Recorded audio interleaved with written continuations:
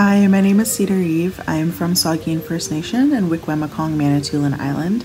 I was born and raised in Toronto, and now I live in Montreal, Quebec. I am a full-time artist. I do beadwork and I paint.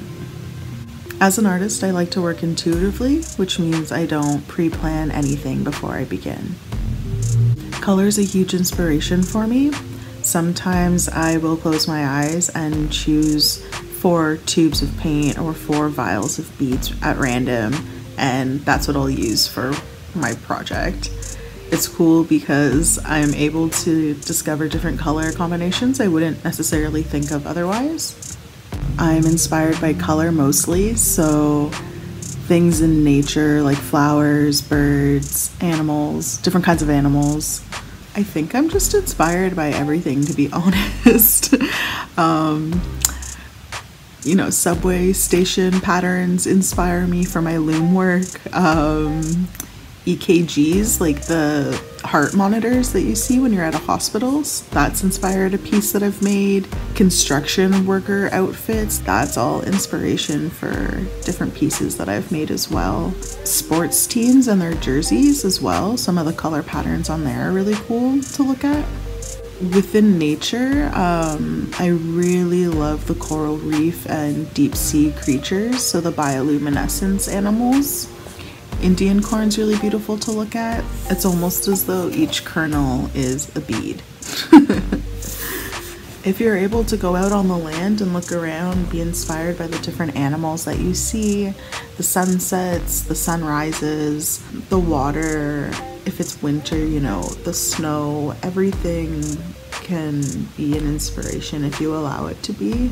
Nico Williams is an artist that uses delicate beads to create different objects. And he's known for his geometric beadwork, so he makes different objects like orbs out of beads. Some of his pieces have different images on it, which are related to storytelling within Anishinaabe culture. So it's awesome that he's able to translate these stories into pictures within his beadwork to keep um, these stories alive through his work. An artist that I discovered on Instagram their handle is Sweetgrass Beads, and their work is really cool because it has a lot to do with pop culture. She does really cool beadwork in the flat stitch style. So she makes mostly patches. So she's done a series of Simpsons patches and Frankenstein and Beetlejuice, which is one of my favorite movies. I was really excited when I came across her work and saw a Beetlejuice patch I thought that was really cool. First Nations culture also inspires her work.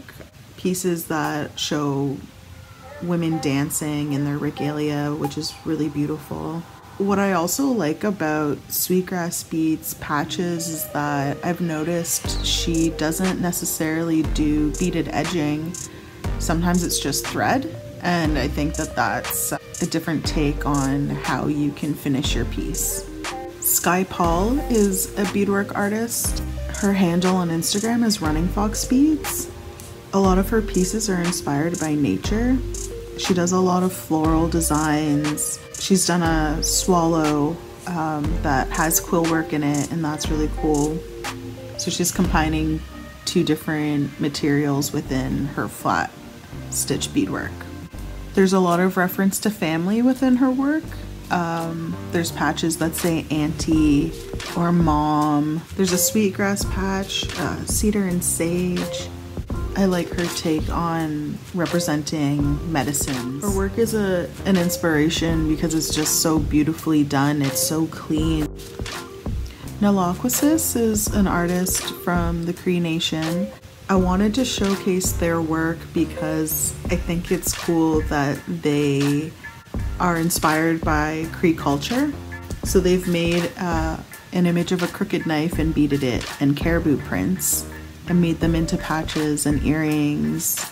So their work's really great because it reflects their pride in their culture, but also is able to bring that to people outside of their community. I really enjoy their work because it reflects Northern living and is specific to Cree culture what I enjoy about all four of these artists is that there's a sense of humor within their work.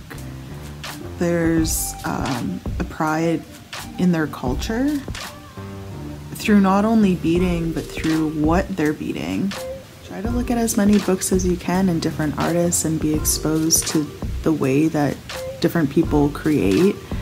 Um, even if they work in a different medium from you, you can always be inspired by something that you see or hear when you listen to your peers and your friends around you. It's always nice to be inspired by other artists, but to remember to never copy their work exactly. Every artist works really hard on what they're creating and they put a lot of heart and soul into their work. And it's always nice to just respect their work and their creativity.